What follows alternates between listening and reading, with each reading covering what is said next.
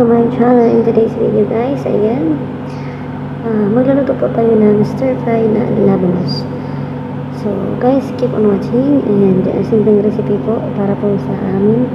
Uh, una po ng mga katulong kasi kailangan gumawa tayo ng paraan para makakain tayo kasi fasting ang mga natin dahil na Ramadan.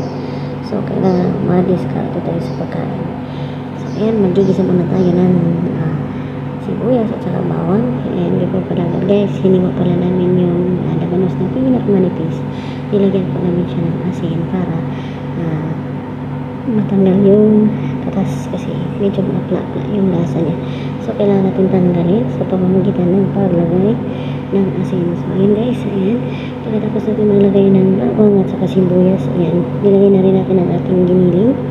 So sasangkotsain lang natin hanggang medyo uh, maluto-luto na.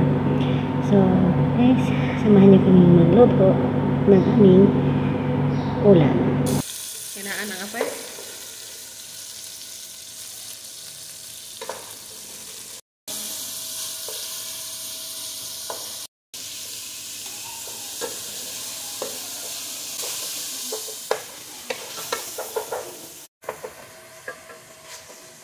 Thank you. So, ayan, nilagay na po natin ang ating hiniwang lamanos. Ayan, hiniwa pa natin ang manipis.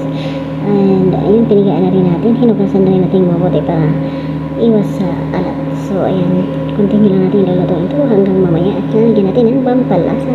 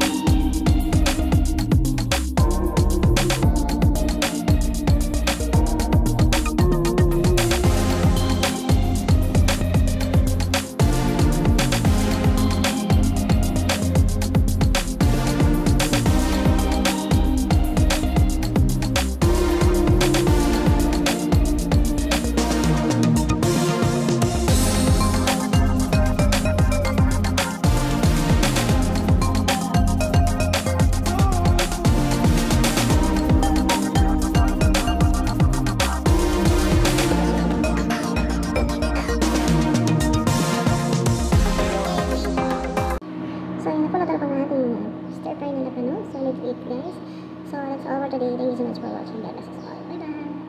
Bye-bye.